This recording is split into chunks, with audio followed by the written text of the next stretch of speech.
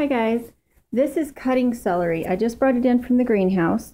And the reason that I use cutting celery instead of regular celery like Utah improved celery or red celery is because I use it for soups. We don't eat celery like a snack.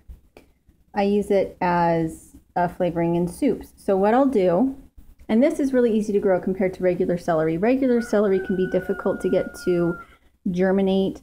It requires a ton of water. And this is just kind of more of a laid back celery and it has a much more intense flavor. So what I'm going to do is I'm going to chop it up into little bits, put it in little freezer bags, and then put it all in a big freezer bag down in the freezer so that when I make soup during the winter, I have my ready-made celery and it's so easy to grow. I had this in with my alpine strawberries in the boxes in the greenhouse and it had just taken over.